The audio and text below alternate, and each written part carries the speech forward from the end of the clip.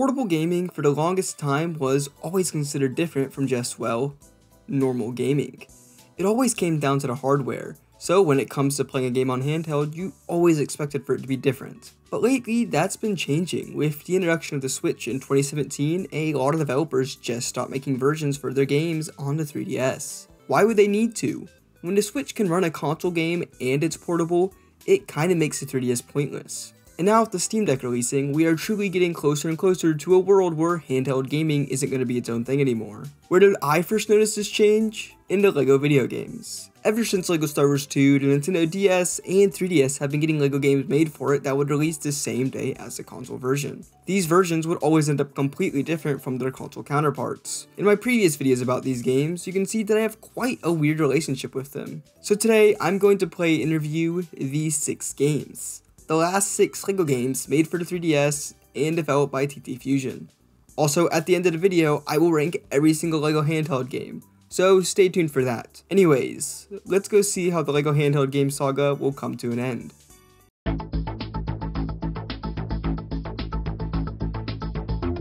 LEGO Ninjago Nindroids is a 3DS and PS Vita exclusive. But the interesting thing about this game is that it wasn't developed by TT Fusion, instead being developed by Hellbent Games. This is not their first time making LEGO games though.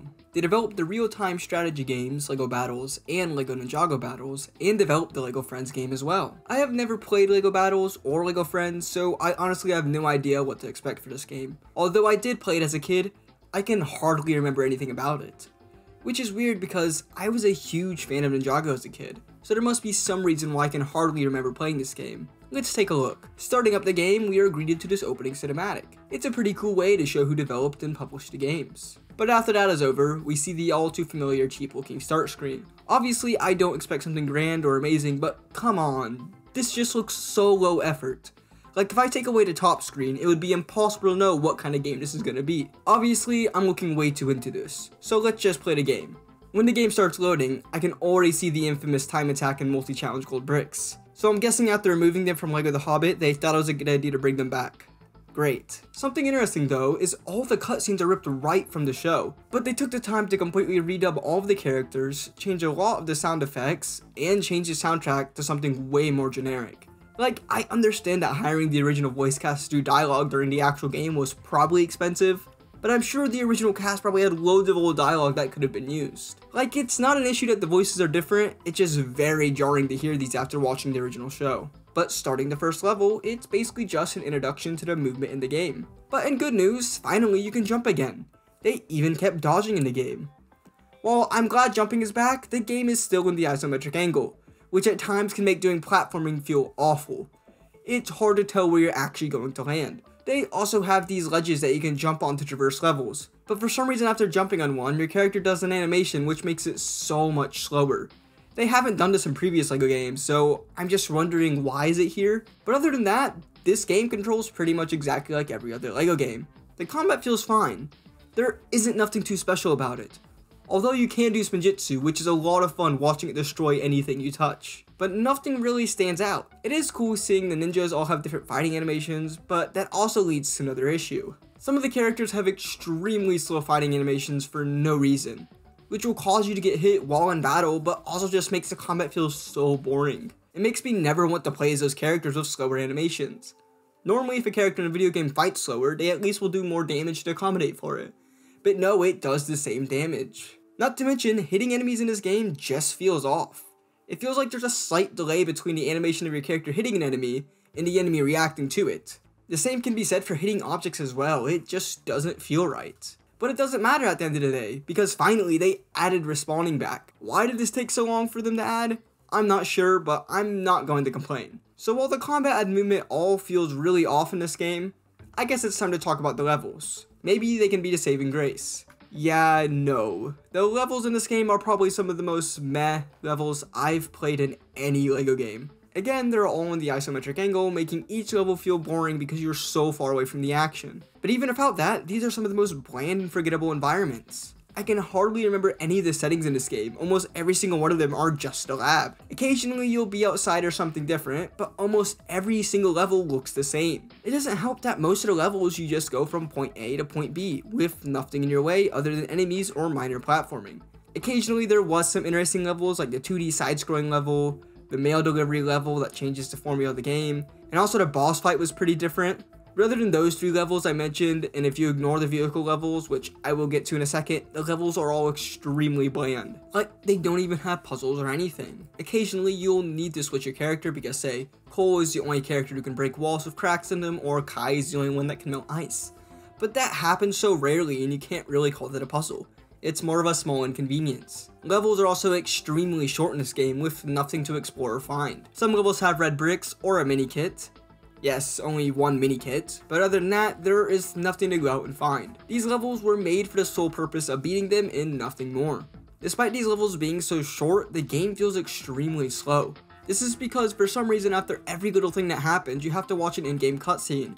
Like they over-explain everything to you, which is funny because the game is so simple. After you go to a new area and a level, yep, they'll show you exactly where you need to go to progress. Like, why? Just let me play the game. It doesn't help that even when switching characters, it has this stupid transition between it. And you can only go in one direction on the character wheel, which makes it so annoying. Obviously, you can prevent that by using a touchscreen, but having to stop what I'm doing to focus on a touchscreen is annoying. Back to the gameplay itself, there'll be other things levels can do that can be somewhat different, like the mech sections, the boss battles, or vehicle sections. Much like everything else, the mech stuff and boss battles are very forgettable, but the vehicle sections on the other hand have some variety. Most of the time, it's a simple on-rail shooter where you're shooting at targets while the game does all the moving for you. These are pretty boring and the level's like over in a minute, but sometimes you can control the vehicles which can lead to some pretty cool levels, like the one where you're Lloyd on a bike. Or the frustrating ones, like the one where you have to avoid this dragon's attacks. I will say it was mostly annoying when trying to 100% the game, because two of the challenges were avoid getting hit with the fireball attacks and avoid getting hit by his swooping attacks. His fireball attacks were extremely annoying, especially by the end where he would just spam them. But the swooping attacks cause so much frustration because you can never predict where they're actually going to go, and they're really annoying to avoid. I hated this level so much. I hated going for 100% in this game in general. It didn't help for one, it's not explore based. Instead it's do really mindless objectives that are copied and pasted across each level, and two, they brought the damn time challenges back. Yes, in every level you'll be forced to run through it as fast as you can to get a gold brick and yet again, for some reason, they brought them back in the multi-challenge as well. So after I go run through the level as fast as I can once, I'll have to go do it again, instead this time doing stupid objectives, like avoid taking damage for example. But it gets so much worse, because after playing the level twice, now to get those gold bricks for some reason, they thought it was a good idea to get rid of switching to any character you want at any time. So you have some gold bricks that'll be beat the level as a certain character, or as a skeleton or snake, but you can't read the damn challenge requirements until you're already in the level and the same objectives can sometimes be thrown into the multi-challenge as well. This caused so much frustration. There would be so many times I would start a level and choose a random character because I had no clue which one would require a challenge and then instantly have to leave that level because I have none of the characters that are required for that certain challenge. So when it comes to these boring levels, you'll be playing them a lot, and I mean more than I had to for LEGO Marvel Superheroes. Also, sometimes certain characters will be needed to get a red brick or mini kit. Like I remember before in the earlier LEGO games, like LEGO Batman and the Complete Saga, you didn't get to choose any character you want, but they at least made sure you had every character so you could 100% that level. I just don't understand why they would remove this feature, especially because in so many of the levels, you need loads of different characters. I am so tired of these objectives. I miss when you had to go and explore or try new things to find mini kits in the levels. These objectives aren't fun. Like, oh boy, I can't wait to avoid breaking any streetlights in this level, or to break 44 objects in this one. Something that really annoyed me is sometimes the multi-challenge wouldn't even reward you for a character like it normally does. It would instead just give you a couple of studs. Like, come on, could you not have thought of any other characters to add to this game? But wait a second, it doesn't even make any more sense because so many characters are unlocked via cheat codes. So doing this is just dumb. Another stupid thing is you can only have three red bricks on at once again for some reason, despite them getting rid of it in the last game. They just need to make up their mind on what they want to do or don't want to do in these games. I did not want to start this video in such a negative way, but it frustrates me that this game brought back so many of the frustrating things found in LEGO Marvel Superheroes that were previously removed from games after that. Is there anything possibly good I could say about this game? Well, I'm happy to say they finally brought back the hub worlds. This one is Ninjago City. It is pretty small and there isn't much to do in it. It's pretty cool and you can find tons of characters walking around doing tons of random stuff. but it's just here to access the levels in the shop. They also have this new dojo mode where you just fight a certain number of enemies. I'm not sure if it's required for 100% completion, but I completed it anyways. There isn't much to it, and it wasn't hard or anything, just wasted a lot of time. I also like the characters in this game. Being able to play as the ninjas in some of their past suits is pretty cool. But other than that, this game is just such a weird release to me. Like, it's extremely boring for one, and they brought back so many of the things that made LEGO Marvel superheroes so awful, despite getting rid of a lot of them in the last game. Like, it's confusing as hell on why something like this even happened. Also, I forgot to mention, but the 100% reward is a dragon in the hub world. At first, it was attacking me, but after that, it only attacked enemies. At least it's something, normally these games don't even have anything at all. This is a fine game and all, but even the story mode is annoying to get through because how boring it is. I don't really recommend it to anyone, even if you're a Ninjago fan, and I think I know why I could not remember what I thought about this game back in the day, because the game is just so boring. Like, even if LEGO Marvel Superheroes, I can talk about how bad it does everything, but this game is just so damn forgettable. Also, for those people wondering why I included this game on my list and not LEGO Friends or LEGO Battles, despite them being developed by Hellbent Games as well, it's because this game is most similar to an actual LEGO game. I will cover those games, and I plan to do it very soon, but they are very different from traditional LEGO games. So yeah, I didn't like this game. But this game kind of had a spin-off made from it. It was called LEGO Ninjago Tournament, and it released on the App Store a couple of months after the 3DS game. I have tons of memories playing this game as a kid, but sadly, like most old App Store games, you cannot play it anymore. But I will still briefly talk about it. This game is combat-based. There are no levels. Instead, you fight an endless horde of enemies in a battle arena. There will be the occasional boss fight as well. You can buy all the usual extras and whatnot, but this game has so many new characters not found in the 3DS game. Your characters will even level up as you play, which gives him more weapons. I remember this game being very addicting, and it has a pretty small fan base. I'd love to be able to play it again. But since I can't play it, I don't really have that much to say about it. So I think it's time to move on to the next game.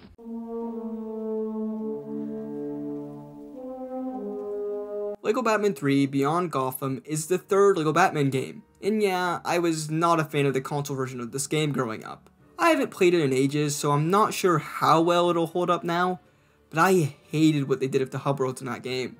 And I find the levels to be pretty boring. But I actually didn't play this game on a 3DS when it came out. Instead, I played the iOS version when it released, and I do remember enjoying it quite a bit, and I got 100% a couple of times. I could still download the game today on my iPhone, which is crazy. You can even see all my old achievements from back in the day. But today, I'm going to play the 3DS version, so let's find out. Does the game still hold up? Hey, when starting the game, it looks like they're finally ditching those awful looking menu designs, which I'm very happy about. As soon as I press new game, I'm instantly brought to the first level. While the level loads, I can read what challenges I can do to unlock gold bricks. But going straight into the gameplay, we are finally brought back to the more traditional LEGO game levels. We got the more up close camera, no dodge button, and even some more exploring based level designs. The game looks and feels great, although it doesn't feel like everything transitions smoothly back to the older LEGO game format. You see, whenever you want to build something or interact with anything in the game, you can't do it in any area you want. You have to do it in a specific area. If you try to do it outside of that area, your character will automatically move to it and then start doing that action, which just feels very weird like, it made sense in the isometric style LEGO games since you're so far away from the character and most of the action, but it feels so out of place here. It's not something that ruins the game for me at all, far from it. It just doesn't feel right. Anyways, continuing with the levels, the levels in this game are pretty fun, though each level is split up into three parts, which is pretty annoying. Again, it makes sense for the previous format they are going for, but it doesn't feel the best here. Like, the levels did not need to be split up at all. They could have easily just continued it and make it one big level, which I definitely would have preferred. The levels are all just a retelling of the console versions. Things are different, but they go through the same environments and locations. I absolutely love the settings for a lot of these levels. The whole first level takes place in the underground sewers and acts as a great introduction to the game. You have the mini Europe level where you go through areas in Europe in small form, and it's so cool. There's also this whole level where you have to go through Joker's amusement park, and yeah, that level was super cool as well. My only issue with most of these levels in the game is it feels like they're over way too soon. Sometimes this isn't an issue with the first level for example, but you'll always be in the sewers throughout that level. With the Europe level, the first section is in Paris, and after the quick section, now you're in London within a couple of minutes. I would have loved to see these levels be a lot longer because they're so much fun. Just simple puzzles with the occasional boss fight or enemies in your way.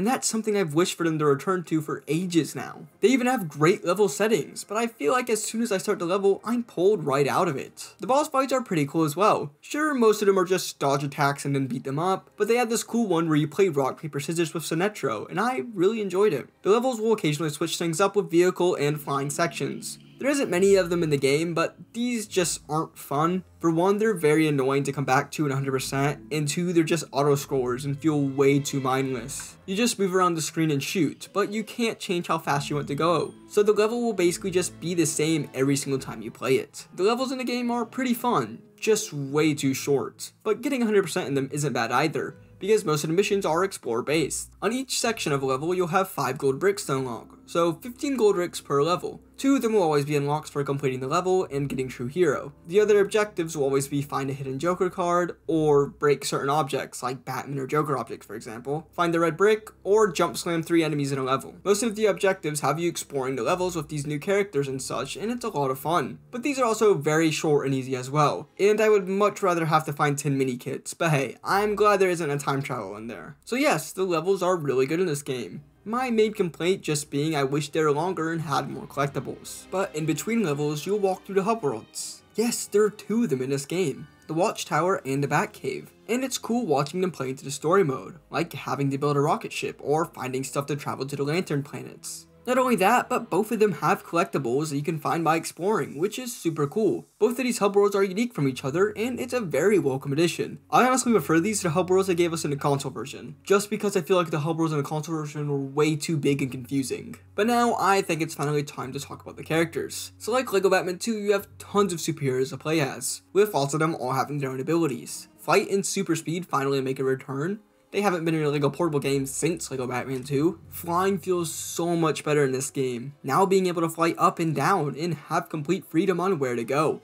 It's so useful for navigating levels in the hub worlds. Speedsters mostly stay the same, just this time you don't need to hold down the button to use super speed. For some reason you can also no longer run in water, which is weird. Some characters like Batman can glide, or like Robin can do athletic stuff and double jump. There's quite a bit of variety when it comes to the movement, which makes a lot of the characters feel unique from each other and gives you a lot of options when traversing levels or the hub worlds. Combat in this game feels amazing. It's super fast and looks great. Most characters have their own unique fighting animations which is so cool. You can also use lasers or other attacks on enemies as well. But one of my favorite additions to the combat has to be countering. It's kind of similar to how it's done in the Arkham games. You'll see a button prompt, and when an enemy is about to attack, if you press it at the right time, you'll do a counter. It makes the combat flow so nicely and keeps things moving. Like LEGO Batman 1 and 2, this game also has suits for Batman and Robin, but this time it's switching it up. Now you can switch to any suit anytime you want, and Batman and Robin aren't the only ones that have multiple suits. Joker, Cyborg, and Lex Luthor do as well. I think this ability should be exclusive to Batman and Robin because it kind of makes playing as them almost pointless. Also, I think a lot of these suits are just lame, like Batman's spacesuit for example. It lets him fly if he has fuel and lets him laser gold objects. So many characters can already do that without having to worry about jet fuel, so why would I ever want to play as him? Robin has some lame suits as well, like the light suit and dive suit. The light suit gives you the ability to light up dark areas, and the dive suit, well, lets you go underwater, but I'm happy to see his hazard suit have the suction ability from LEGO Batman 1, because these things were so satisfying to collect. Also, his Techno suit lets him do this panel minigame, but I only bring this up because the panel minigame just reminds me of a mobile phone game, but overall the suit mechanic is fine, I definitely prefer the old one, just because Batman and Robin having so many suits that are just abilities that better characters can do feels pointless. And seeing Joker in an inflatable suit is something I shouldn't have to see. Before I stop talking about the characters though, I will say I love how all of them have their own unique idle animations, just the little details that add so much. This game is filled with so many little details that I just adore, like the announcements that'll just randomly play while in the watchtower, the callbacks to LEGO Batman 2's story, Hey, this place is still damaged from the last time we fought the Joker or how some characters have different face expressions depending on what they're doing. Also, I don't remember the character roster in this game being this small. It's not a bad character roster, but I definitely remember there being more characters in this game. And this is when I figured out the iOS version of this game got tons of free DLC, like the Batman Beyond characters, more 1960s characters, Arrowverse characters, and Dark Knight characters. This is so cool. It just sucks. Why didn't the 3DS and Vita get these? So the 3DS and Vita version did get an update later down the line. They got some free characters, but only two of them. Plastic Man and Zur-En-Arrh Batman. I'm not sure if I'm pronouncing that right, but at least they gave us something. I'm just confused on why they didn't update those versions. But anyways, I don't have anything left to really say about this game. Overall, I just think it's okay. It is definitely way better than the isometric games we've been getting, but it's still having a hard time recovering from that. It is a big improvement from the previous games, and honestly, I had a great time. The game is super quick to 100%. So if you ever want to play a new LEGO Batman game, then maybe give this one a shot. But it is time to move on.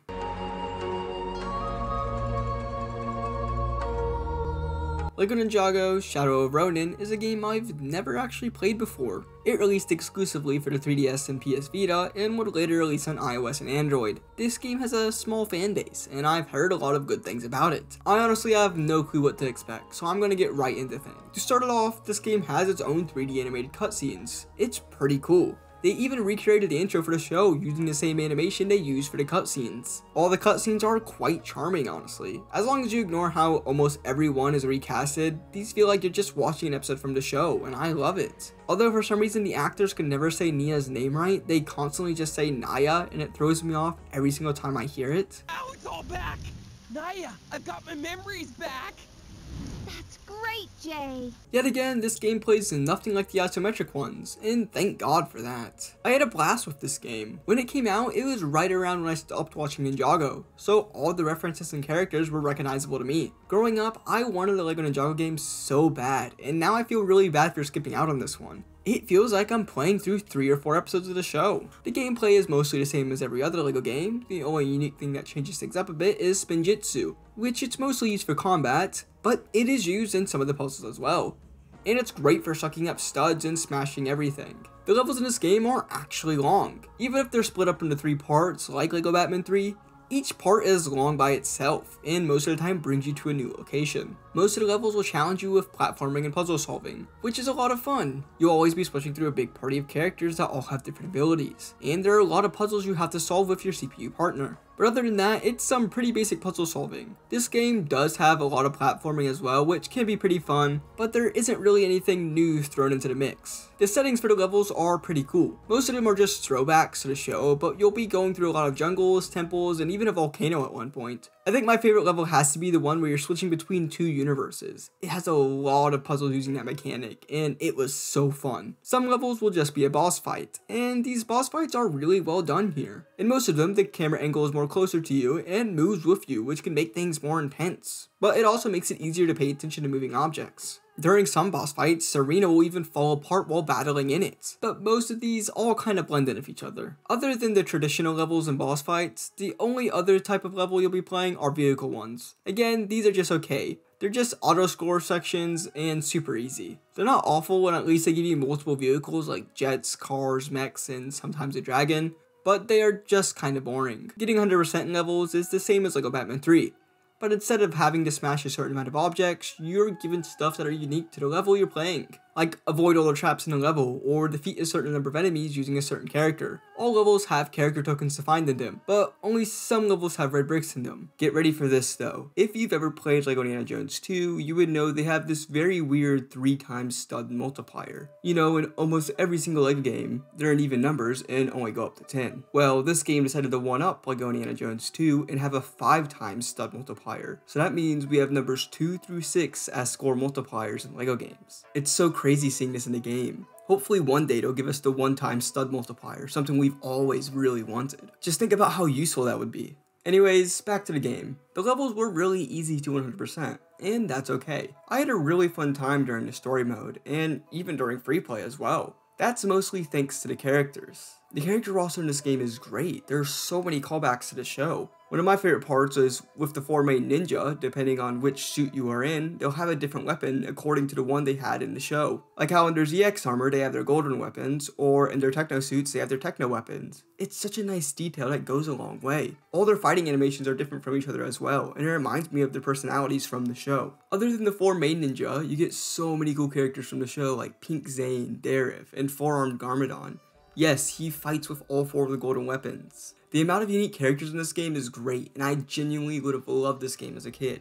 It makes me feel like the developers of this game had a lot of knowledge of the show, or were even fans of it themselves. But the characters are so much fun in this game thanks to the combat. The combat feels so smooth and nice, it's extremely fast paced and fun. All the main ninja fight different from each other. They all have different weapons and combos. You can use their elemental powers in combat as well, like throwing boulders with Cole or freezing enemies with Zane. Every character after finishing a combo will sometimes do a finisher, and some of these are unique to a certain character. But one of my favorite ways to combat enemies has to be Spinjitzu. The only way you can use Spinjitzu is by doing combos, which will charge it up. But when you can eventually use it, you'll suck up enemies, studs, and just destroy everything in your path. It's so much fun to use and feels overpowered like it should. So the game great combat and levels. Is there anything negative I have to say about this game? Well, there are some things I wasn't a big fan of, like the game playing an in-game cutscene every 5 minutes these weird building mini games, and the hub world. Yeah, the hub world in this game really sucks. For starters, you have to watch the same animation of Kai getting on his dragon every single time you want to go back to it. You control a dragon and have to fly your way to every level, which is pretty annoying.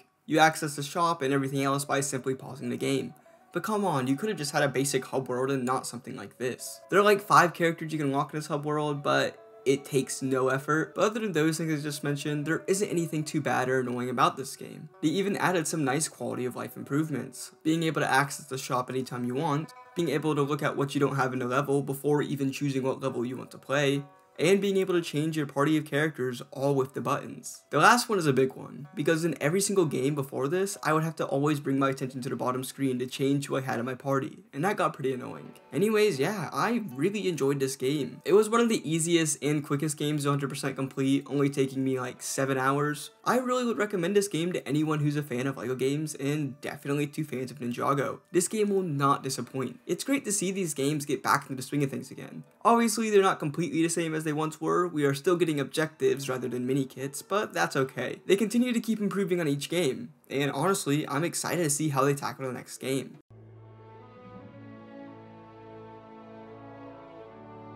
Lego Jurassic World is a game I don't really have any connection with. I played the console version when it came out, but I haven't played it since, and can't even remember how I felt about it. I always thought it was interesting because for most Lego games, you're just beating up bad guys throughout the level, and in Jurassic Park movies, there isn't really a whole lot of combat from what I can remember. So it'll be interesting to see how they approach these levels. I'm assuming they'll have to be more puzzle based, which I'm fine with. I've never played a 3DS version before, so let's see how it holds up. Starting off in the first level, this game reminds me of a lot of LEGO Batman 3 with how close the camera is but the levels are pretty fun in this game. In typical LEGO game fashion, this game relies on a lot of character switching, but this game relies on a lot more than others I feel. Since this is based in a somewhat grounded universe, not every character is going to be able to jump super high or glide. Lots of characters have one or two specific abilities to them, like being able to cut down ropes or charging up electrical panels. But something I find really interesting is this game takes a lot of abilities from classic LEGO games and shoves them into here. Like for example, female characters having a higher jump, some characters having the ability to scream, or small character doors. It's not a bad thing at all, it just shocked me to see another game where female characters have a higher jump because it's such an old LEGO video game trope, but you will actually get into some combat scenarios. Most of the time with tiny dinosaurs, but sometimes you're beating up other humans. The combat doesn't feel great in this game, which is fine because you're barely using it, Having the ability to fight in this game is simply huge you can destroy objects for studs. The levels in this game are basically just one big set piece where you have objectives. These objectives could be feed the dinosaur, escape the dinosaurs, or just get to the end of the level. It's very simple, and the levels are really short but I kind of had a good time with them. The environments are all nice as well, but they do blend in a bit because most of them are just jungles. Other than normal levels, you have the typical vehicle or chase levels, and these are fine. I will say they only become really annoying when you want to get 100%. Speaking of 100%, going back and 100% completing the levels is pretty fun. Most of the objectives are just hidden collectibles like fossils or red bricks, so it really feels like they're just trying to get away from the objective gameplay formula, and thank god. I think my really big main complaint with the levels has to be the pacing of them them. They only give you 3 levels per story, but sure, each level is split up into 3 mini levels, but that doesn't really count. These stories will go by in a flash and it just feels really weird. Like in the first level, everyone is happy and excited about these parks and then in the next, the dinosaurs are just out going crazy. I've only seen the first Jurassic Park and Jurassic World so I'm not sure how poorly the other films are told, but yeah, it's just very jarring. Anyways, the levels are pretty simple in this game, but really enjoyable and bring me back to the classic and more simpler LEGO games. But thankfully this game has a hub world as well, and it's really cool. So the main hub world is just a Discovery Center from Jurassic World. You'll just find a shop and Dino Customizer in here. But each film also has its own mini hub world as well. There isn't any collectibles or anything in it, but it's super cool nonetheless. While playing through the story mode, you unlock more and more of it as well. The characters in this game are okay. Obviously, you have everyone from the Jurassic Park franchise, but you also have Jimmy Fallon for some reason. It's really odd. Why is Jimmy Fallon in this game? Was he in Jurassic World? I honestly can't remember that film, but it's Jimmy Fallon, so yeah. But by far, the best part about the characters has to be the ability to play as dinosaurs. In a normal levels, you can play as a lot of the smaller dinosaurs, but you can also unlock the dinosaur paddock. This gives you a pretty decently sized level where you can just free roam around as big or small dinosaurs. It's really cool. I love how your main objective here is to recreate a lot of the iconic death scenes in the films. But you can also create your own dinosaur in this game, which the customization for these is crazy. Loads of different colors, different scales and whatnot. It's so cool. But yeah, I don't have that much else to say about this game. It's definitely playing it really safe and it's very much just okay. But I did enjoy it. Just I feel like I won't remember much of this game in a month or so. I don't have that much to say about this game to be honest. It's a very basic LEGO game. But I do kind of recommend it if you're just kind of bored. It's really, really simple. The simplest out of most of these LEGO games but it's kind of addicting in a way. Well, since I don't have that much left to say about it, I think it's time to move on.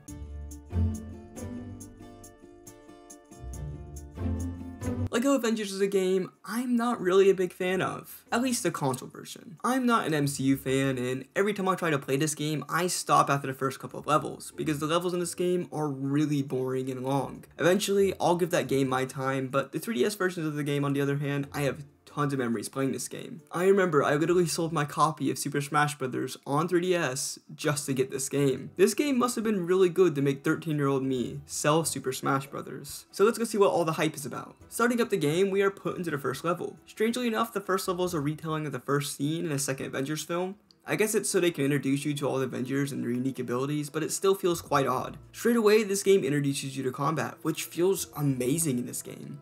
Performing combos of every character is satisfying, and even at the end of the combo, every character has their own unique finisher. Characters like Captain America can throw their shield or use it to deflect bullets right back at enemies. He also has this charge move, which instantly defeats enemies and breaks everything in your path. Even during his fighting animation, he'll throw his shield sometimes at random enemies. It's just so satisfying. Iron Man obviously has the ability to fly, but he also has new homing missiles. If you hold the attack button, it'll send rockets to everything on the screen, which can be super overpowered. But the new main thing that sticks out with Iron Man has to be his suit switching ability. If you hold down the character swap button, a menu will appear that'll let you choose from loads of different Iron Man suits, some even granting you different abilities. This is extremely cool. I love watching the unique animations when he switches into certain suits. You also have characters with super speed as well, like Quicksilver. Almost all these abilities will also be used for puzzle solving as well. A new feature is team up moves, which can help in combat and puzzle solving, but I never really found myself using them unless I'm told to. But for the first time in any of these games, well, since LEGO Star Wars 2 on DS, on some levels you can have three characters with you at once. It makes things very chaotic, but it's pretty cool. The characters in this game are pretty cool. Nothing too shocking or exclusive about them, but there is a lot of variety. In most levels, you have a big party of characters with you. It's fun trying to solve puzzles using all the Avengers' unique abilities. A lot of the puzzles will be getting all the Avengers to one specific area using their different abilities. But speaking of levels, they are great in this game. For one, levels are finally long again. They're no longer splitting them up into three parts, which is great. Most levels in this game are decently long at times, and to be honest, none of the levels are way too long or way too short. They kind of hit that perfect balance. It also helps that the levels are so much fun in this game. Most of them are huge action set pieces where things are never really slowing down. Like the first level, you play as every Avenger in this cool snowy environment. Some of my favorite levels have to be the level where you're Captain America and Bucky on a train, the last level in the game where you get to play as all the Avengers and switch between them fighting endless hordes of enemies, but obviously the best level has to be the chase level. It starts off with Captain America fighting enemies on a moving vehicle, then transitions to the super cool driving section as Black Widow. Once Black Widow gets closer, she can shoot out Ultron. Then the level ends with this super cool section where you're playing as Quicksilver and have to save civilians from a derailed train. This level is so cool, so much is going on all in this one level and it's super fun. And this is just one example of how much variety these levels have. Most levels have multiple sections with different things to do in them and I'm so happy about it. It really feels like they're going back to the older level designs which I prefer so much more. In between the normal level design you'll have driving, flying, and boss fighting sections in them as well which makes them far more memorable. Getting 100% in the levels is pretty fun as well. Although it's still objective based, but it gets the job done and honestly doesn't take long at all. Okay, so I know a lot of you guys are probably waiting for me to talk about this, but this game did something absolutely amazing. After you beat the first two levels, you're introduced to the hub world of this game. Oh my god, they brought back free roams, and not only that, it's Manhattan and it feels just like the free roam in the console version of LEGO Marvel Superheroes. This is amazing. What the hell, we haven't even had a free roam in so long, and when they finally bring them back, they go all out with it. This free roam is really similar to the one in like Marvel Superheroes. A lot of vehicles are the same, civilians walking around are the same, but there are a lot of little differences. For example, the X Mansion is gone, now being replaced with Tony Stark's mansion, but this is absolutely insane. You can fly around the city as flying characters or use super speed. The controls feel great for what it is, and I can't even believe this is on a 3DS. The Hulk and most big figs can climb walls and super jump as well. They even have an extra that lets you super jump even higher, and it's insane how high you can go with this. That's three different ways to traverse this free roam without a vehicle. And mentioning vehicle, there are tons of driving and flying vehicles. The driving controls feel good.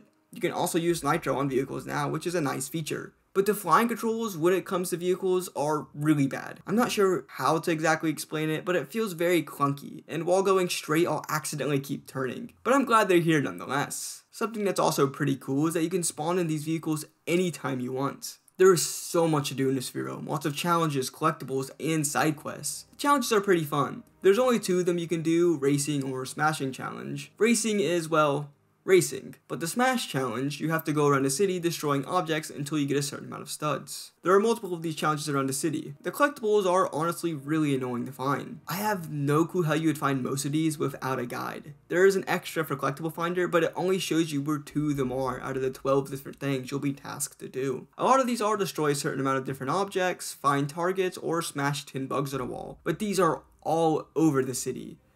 You also have the tiny collectibles like character tokens, which are basically impossible to find without a guide unless you're checking every single corner in this hub world. But honestly, these are pretty minor complaints. I do hate how they have a tracker, but it doesn't actually show you where everything is. But this is only a problem if you're going for 100%, and I'm sure if you spend time just messing around, you can probably find most of these. But the last thing you'll be tasked with in this hub world are side quests. To play any of these side quests, you first have to have the specific character. You get a small in-game cutscene before and after it. It's basically its own mini story mode within the city. These side quests are super cool. Most of the time you'll just be chasing a bad guy, but there are some cool ones where you unlock new abilities, like Daredevil's for example. Once you complete all of them, you get the final side quest, where you play as every single character that you use in the other side quests to take down MODOK. They did not need to have this mini little story mode outside of the main game, but yet they did, and I love this. It's super short and the side quests are really simple, but they already have so much other amazing stuff in this game, and to be honest, this is what I expect from a LEGO game side quest. Not only do you get Manhattan if you're in, but you also get the helicarrier, which yes, it does have the interior that looks almost identical to the one in LEGO Marvel Superheroes,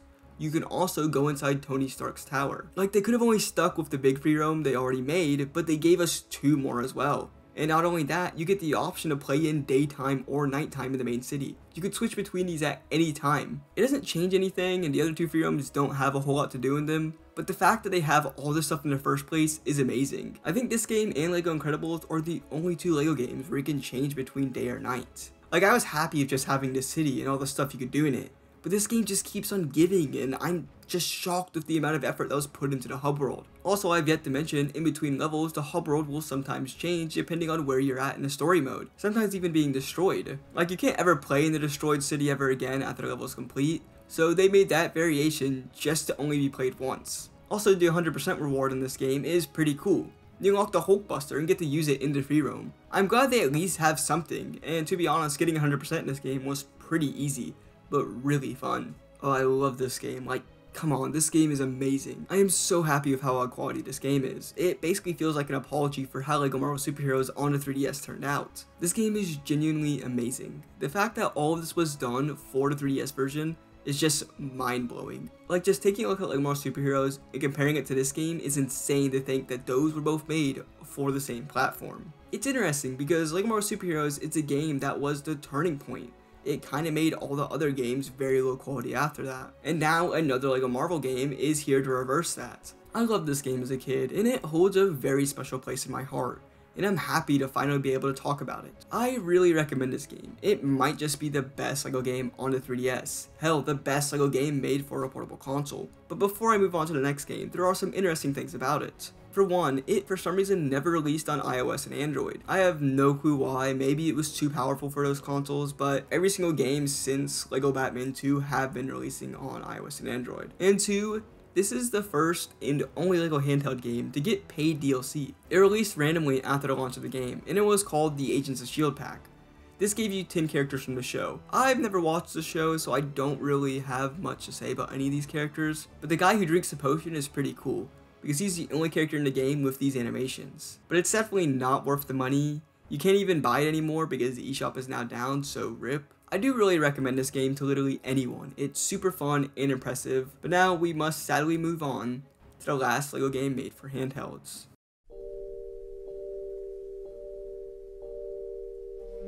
LEGO Star Wars The Force Awakens is a game I barely remember. I got it for Christmas one year, but I don't actually remember playing the game so I don't have much to say about the console version, but I do remember playing the 3DS version on iOS when that came out.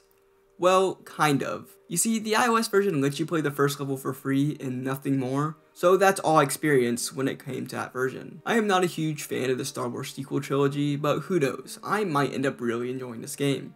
So, I guess we should just get into it. Starting things off, this game drops you right into the hub world, as you can see, the camera is very close to your character like most of the previous games, but I'm just going to get this out of the way now. I do not like the camera position in this game, at least for the hub worlds. The camera is way too close to the character you're controlling, and for some reason, when you turn, the camera turns with you. It just feels really weird. Like it's not the worst thing ever, it's just very odd when LEGO Avengers kind of perfected the controls, and now here they feel really, really janky. But since the first thing we see are the hub worlds, I guess I'll start out with that. I think they're mostly great in this game. You get four different planets to choose from, and they're decently sized. You'll mostly be navigating through them to get to the next mission, which can help with level progression, making it feel a lot better. There's also quite a bit to do in them. This time around, the approach is very similar to the console games. Go around looking for people that'll give you side quests or just collecting collectibles. The side quests can be loads of different things, like races, defeating a certain number of enemies, or finding an item for someone. They do have some unique ones, like the dancing one. But overall, yeah, they're fine. Like, they're not the most thrilling side quests in the world, but hey, they're honestly pretty similar to how the console game does their side quests. Collecting collectibles, on the other hand, is quite fun and addicting like normal. They're not very hidden to be honest, and because the camera is super close up, it can be very annoying to find some of these. You can also spawn vehicles in the hub world, but I never bothered. I definitely enjoyed exploring these hub worlds on foot more. It also didn't help that the controls weren't the best for vehicles. But hey, I'm glad they're here anyways. I think the settings in these hub worlds are great. They all stand out from one another, and some of them have interiors, like the Millennium Falcon or the Medical Bay. Exploring the Millennium Falcon by far has to be my favorite, despite it being so small. But that also reminds me, why can't you go inside the Millennium Falcon in the Skywalker Saga? But that's a whole other topic that I won't be getting into. I think the hub worlds are a great addition. They're all pretty high quality and can have a decent amount to do in them. The character customizer is even back after being gone since LEGO Marvel Superheroes. Jesus, I did not realize these games haven't had a character customizer in that long. Speaking of characters, yeah, they're fine. I don't know, maybe it's because I'm not really into Star Wars these days, but the characters in this game are all kind of mm-hmm. meh. Like, you can unlock so many past characters from previous Star Wars films, but almost every single Jedi has the same fighting animation. Like, this game has over 200 characters, it might be the biggest on any LEGO handheld game, but how am I supposed to care when almost every single character feels exactly the same? Also, for some reason, young Leia has old Leia's face, and it just looks so dumb. The whole character roster is now split up into dedicated classes, but it's more for looks rather than function because now I can't go page by page for the character roster because it'll just make me go to a whole new character class. It's not a huge issue, it just got pretty annoying. Most of the characters share the same abilities. You got the typical people with guns and lightsabers. The only really new thing I noticed was Big Figs. Unlocking a new character was never really exciting to me because most of the time they would just be some filler character that I have no clue they are and they would also just not be unique at all. They all just kind of feel like skins of each other. The only time I was surprised by a character is with Kylo Ren because he has this cool ability where he can stop bullets and shoot them back at enemies, but no, that was the only time. The combat in this game is okay. Fighting enemies feel fine, but it doesn't really feel like there's a difference between using a lightsaber or just normal fighting. You can use your blaster as well, but that's about it. Using the force on enemies can be fun though, like how Darth Vader can pull people towards him. There are some new things, like melee and shooting now being different buttons, and shooting sections. The melee and shooting being separate buttons got pretty annoying because a lot of characters will have an alternate throwable like a bomb or staff and I would always forget which one is dedicated to which button. But I do really like shooting sections. These will randomly happen on levels. You hide behind cover and shoot enemies. Once you defeat all the enemies, you can move on. They are kind of fun and they reward you with a lot of studs for not dying. But it is kind of weird how Jedi's can shoot like force balls. I'm not sure if that's in Star Wars canon. Boss fights in this game are really lame almost every single one of them are the same.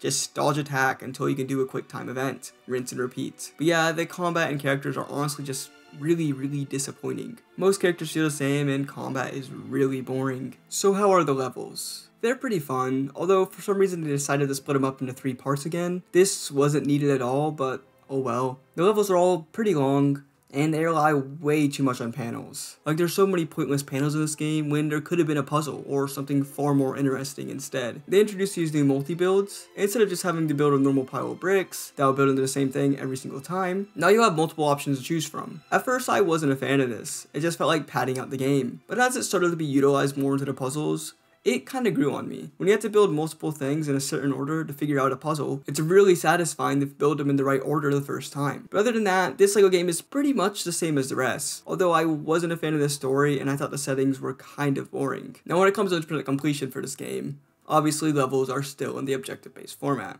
which is fine, just for some reason so many of these challenges would glitch out and take ages to reward me. There was this one where I had to deflect a bullet and hit a stormtrooper, but no matter how many times I did it, I would never get the gold brick. After like my 50th attempt, I just randomly got it. Not to mention you can't block in this game, so trying to deflect a bullet back is really annoying. It doesn't help you have three AI players that will constantly be attacking the enemies, lowering the chances of them actually shooting at you. This challenge wasn't the only one like this either. So many of them are just completely bugged, and you have to keep trying them until you eventually get it. It got pretty annoying, and for some reason this glitch happened to me on some of the hardest challenges.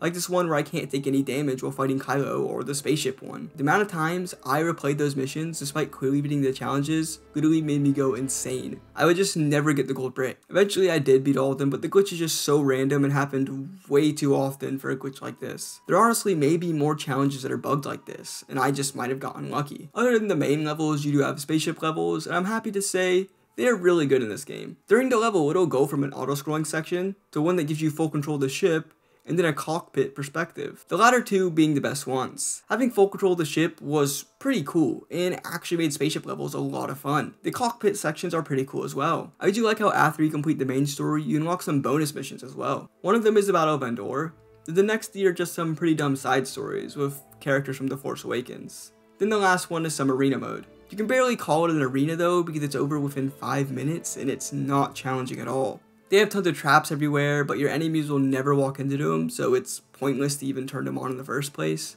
But it was after this level, I noticed something I've never seen before. This LEGO game swears.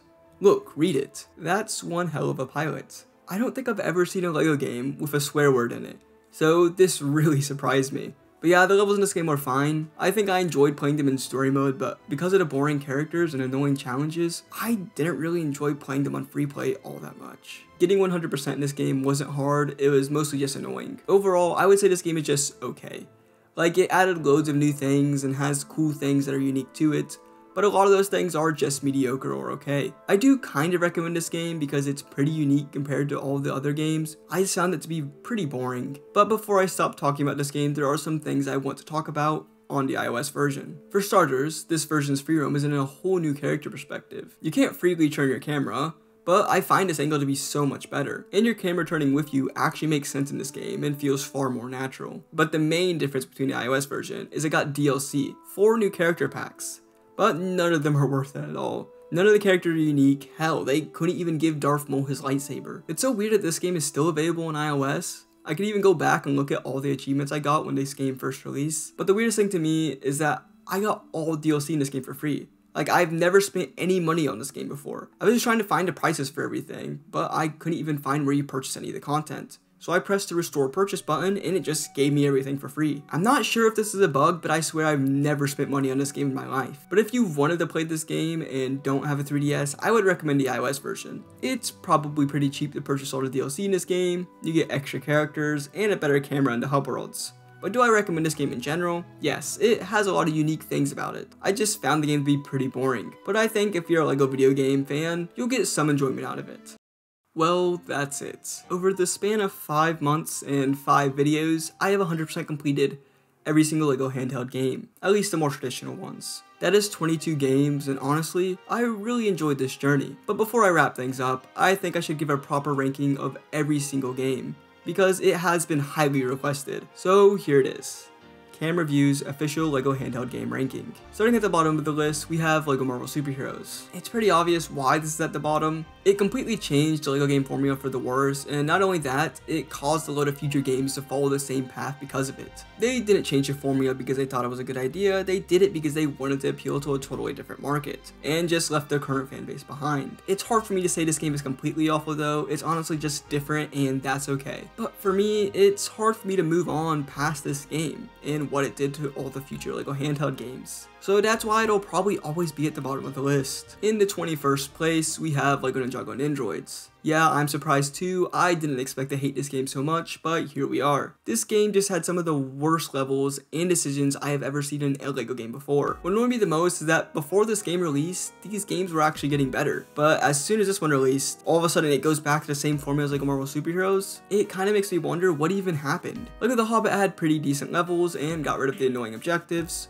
but for some reason this game just brought them back, and a lot of other annoying stuff like Marvel Superheroes did poorly. Just thinking about playing this game makes me feel sad, and I don't ever want to think about it again. In 20th place, we have LEGO Harry Potter Years 1 through 4. I was surprised to hear after I talked about this game in a previous video that a lot of people like this game, and I have no problem with that at all. This game is very unique, and it kind of keeps the same charm that other LEGO games have. But with how messy the controls are and the very boring levels, I really did not like this game. I felt like half the time I was reading text or matching patterns. I do like how it's based more off the books rather than the films, but only a Harry Potter mega fan would have noticed that, and I am not one of those. If you like this game, I'm glad you can enjoy it. But personally, I just don't think it's for me. In the 19th spot, we have the LEGO Movie video game. I thought this game was a step in the right direction after LEGO Marvel Superheroes but that's simply all it was. The levels are fine, but mostly this game is just so forgettable. This game doesn't mean much to me, other than it's the game that released after LEGO Marvel Superheroes, and was kinda better, but barely, so I don't have a whole lot to say about it. In 18th place, we have LEGO The Hobbit. Yet again, this game is trying to fix all the things that went wrong in LEGO Marvel Superheroes. But at least in this game, there are some signs of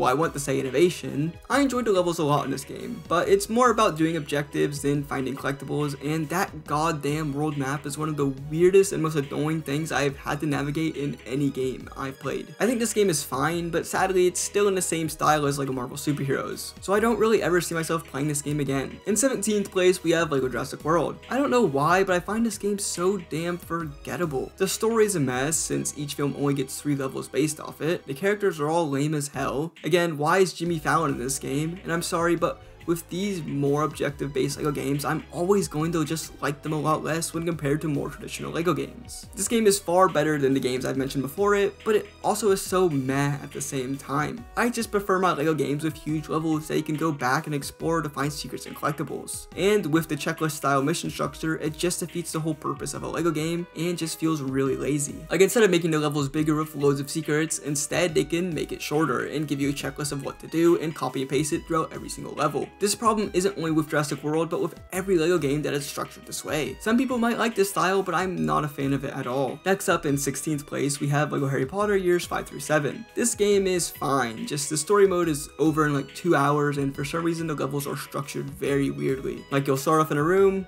finish a task in that one room, and then you have to teleport to the next section of that level. It also doesn't help that every time you are teleported, you have to sit through two whole loading screens. I think mechanically, everything feels great, and it's everything I wanted from a LEGO Harry Potter game on the 3DS, but the levels just ruin the whole experience for me. Next up, in 15th place, we have LEGO Batman 3. Basically, all the same issues that I had with LEGO Jurassic World plagued this game too but it is higher because the missions are far better and the combat is super fun. I think the suit mechanics in this game are kind of lame and makes it completely pointless to want to unlock more characters. It's a good LEGO Batman game, but by far my least favorite out of the three. In 14th place, we have LEGO Star Wars 2. Okay, I know on the first video I ever uploaded to this channel, I was super hard on this game, but it actually did a lot right for how buggy it was. For starters, it was nothing like the GBA ports. I've heard nothing but awful things about those games. The graphics are super impressive and it looks a lot better than a lot of the LEGO games developed by TT Fusion released for the DS. The levels are super ambitious and unique, even if that does mean they run awfully, it's pretty cool. But overall, this game is just a very confusing and buggy mess, which really stinks, because the game starts out great in the fourth film, but as things go on, you see the levels decline in quality fast. There are a lot of unique things in this game that you'll never see in any other LEGO game, like the character customization anywhere you are, the battle mode and sandbox mode, and the weirdly inappropriate jokes found while playing through free play mode. As buggy and genuinely not good this game is, I actually would recommend it. And I look back at my first review on this channel and cringe at a lot of the stuff I said about it. It's not amazing by any means, but it sure as hell will entertain you. And I can't say that for a lot of the other LEGO games after its release. In 13th place, we have LEGO Pirates of the Caribbean. I like this game a lot, and it holds a special place in my heart. The levels are great recreations of the console versions, and although that makes it stand out a whole lot less, I really like this game. It's pretty short and easy to get 100%, but that makes it a great game to just pop in and play. I don't have loads to say about this game, but I would recommend it. Next in 12th place, we have LEGO Star Wars 3. This was the first game released for Nintendo 3DS, and it's pretty great. Very impressive spaceship sections and just overall massive filling levels. This game doesn't disappoint. I would say the combat did get a bit weird during this game, and it kind of affected all the other games after it, but again, this is a short game to just pop in and play. I had a good time with this game as a kid, and even now. It's really short as well, making it super easy to come back to. But to be honest, this game and Pirates of the Caribbean are pretty interchangeable for me since my feelings for those games are pretty much the same. In 11th place, we have LEGO Star Wars The Force Awakens. I may have been harsh in this game earlier, and for most of these games for that matter, but this game has a lot of unique things in it. Having four different hub worlds and lots of puzzles, it's pretty great. I just found this game to be pretty uninteresting, and the characters are some of the laziest I've ever seen. The fact that the DLC characters aren't even unique just really annoys me. I think most people would have a good time with this game though, but for me, I'm just not a fan of this film in general, and it's just another objective-based game. You already know how I feel about that. In 10th place, I know this is going to make a lot of people mad, but it's LEGO Star Wars The Complete Saga. It is the first ever LEGO game by TT Fusion for Nintendo DS.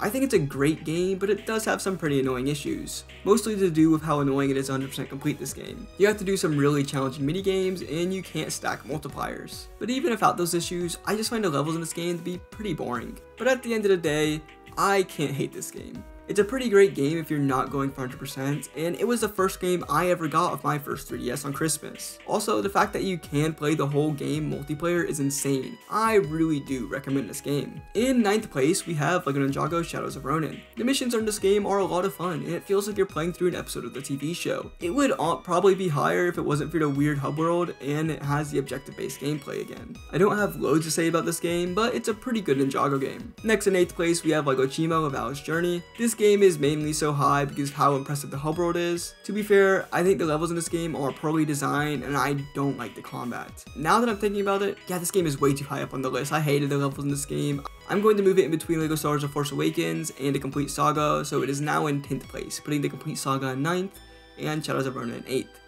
So let's move on to number 7, which is LEGO Lord of the Rings. I like this game a lot. The hub world is absolutely massive and helps this game feel like an adventure. The levels in this game are all fun and well designed, and the characters are super unique. What more could you ask for in a LEGO game? I do have to go out of my way and say I'm talking about the 3DS slash Vita version of this game and not the DS version, but I do highly recommend this game. The whole story mode has multiplayer, it's insane. In 6th place, we have LEGO Batman 2. Oh, the memories of this game. Not only does this game have so many memorable levels, but the character roster is so good. It was the first LEGO game to introduce flying and super speed, and so many new abilities that are used so often in LEGO games today. Nostalgia may be pushing this game further up on the list than what it should be. I genuinely think it's a really fun game. It's super short, so it makes it super easy to just chill and play, and the whole game is multiplayer as well. I don't really know how you could go wrong with this game. We are now in the top 5, and just remember this is my opinion, and at the end of the day, we all have different tastes and needs, but in 5th place is LEGO City Undercover. I was never able to play the console version of this game growing up and still haven't gotten around to doing it. But this game basically gave that to me as a kid. You have a massive city to free roam in, tons of cars to drive around, lots of collectibles that are addicting to collect, and a great story mode. I love how everything just works in this game and makes this one of the best LEGO games. Hell, one of the best games on the 3DS. It pushed the 3DS to its limits and it still impresses me so much today. I highly recommend this game if you haven't gotten around to playing it. In 4th place we have LEGO Indiana Jones 2. I really enjoyed my time with this game when I came back to it. I don't have loads of memories of this game as a kid, which made it more shocking how much it surprised me. This game is a lot better than the console version. The levels are all super long and have tons of collectibles and puzzles, has some of my favorite levels out of any LEGO handheld game. There's also this pretty big free roam that's fun to explore. Overall, there's a lot to love in this game, and it was cool seeing TT Fusion doing what they want rather than just trying to copy the console version. I do recommend this game. Obviously, it's in my top 5. Next in third place is LEGO Avengers. This game shocked me. Sure, it's an objective based game, but I can get past that because of the massive free roam. This game is one of the games that helped me get back into LEGO game, and I'll never forget all the memories and fun I had playing this game then and even today. It's a damn impressive game, and is always my go-to pick when recommending a LEGO game for the 3DS or Vita. It showed what the developers were capable of doing, and I'm glad they got some kind of redemption after how poorly LEGO Marvel Superheroes was received. Okay, so this was pretty hard for me to do, but in second place is LEGO Batman. This game and the game after it are honestly pretty interchangeable to me. It's hard for me to decide which one is better because I love them both the same. But this game is just overall a fantastic game. It has an amazing atmosphere, great levels, and tons of super cool characters. This game gave me hours of enjoyment as a kid, and I'll never forget that. I can always just come back to this game and have a fun time. And the same can be said about the game in first place. Finally, my favorite LEGO handheld game of all time is LEGO Indiana Jones. This game is just fantastic. Some of my favorite levels of any LEGO handheld game are in this game. I had a really fun time replaying this game and have tons of memories playing it. But yeah, that is all 22 traditional LEGO games 100% completed, reviewed, and ranked. And wow, what a weird journey it has been. I am so happy I got to shed some light on these games and find tons of other people who also played these games growing up. It really does suck that it has to end, and it's sad knowing we'll probably never see a LEGO game designed differently for a different console. Technology has gotten to the point where most console experiences can be played anywhere now, making portable gaming and just normal gaming almost the same thing. These games will never be ported anywhere, and with the Nintendo eShop now gone, the only way to play this game is via emulation, owning a copy, or owning a Mono 3DS. It's sad knowing that the kids growing up today will never get to experience what true portable gaming is, and in some way it makes me feel envious that they get to play the console version of LEGO Batman anywhere they want on their Steam Deck. But I'm sure people who grew up with a Game Boy felt the same way when they grew up and kids my age were playing the DS and 3DS but that's just the way it is. These games provided me with tons of enjoyment that I will never forget. And I just want to thank everyone at TT Fusion for releasing such high quality games for the portable systems. Especially because most of the time game devs just use it as a way to make a quick buck. Although it's been a very rocky road, something I find most interesting is that a lot of the later LEGO portable games would actually influence the Skywalker saga. You know, short levels, having objectives to do rather than finding collectibles, and making a lot of the characters not unique. This video is not about the Skywalker saga so I'll just have to save my complaints about that game for another time. Before you comment asking about LEGO Friends, the RTS games, or GBA games, I am getting to them. They'll all be in their own video, I just wanted to focus on more traditional LEGO games. A lot of those games are very different from the typical LEGO games. Anyways, I hope you enjoyed this series. Thank you so much for watching to the end, and trust me, I got big things planned for the future, so subscribe if you're interested. Thank you for watching.